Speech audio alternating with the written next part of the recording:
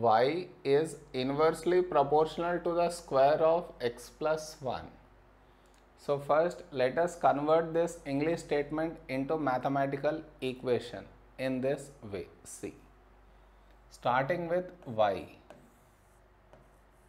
He said proportional.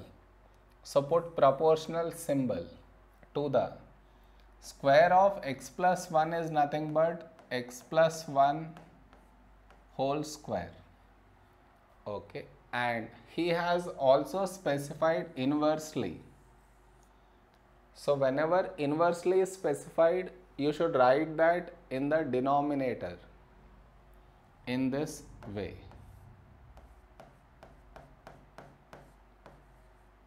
Okay now now I will replace proportionality symbol with equal to so whenever you replace proportionality symbol with equal to, you should put a constant k.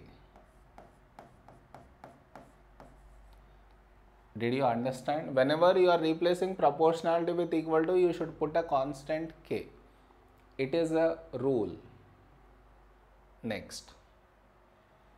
y equal to 0.875 when x equal to 1.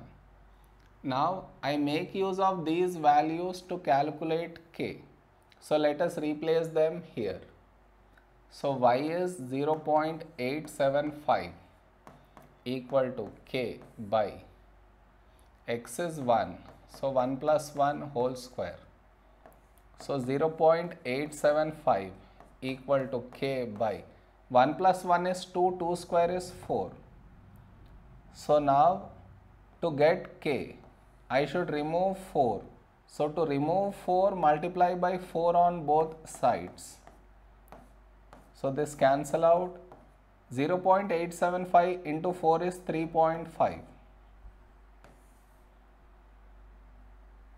Okay, now replace k here and now this equation becomes y equal to 3.5 by x plus 1 whole square.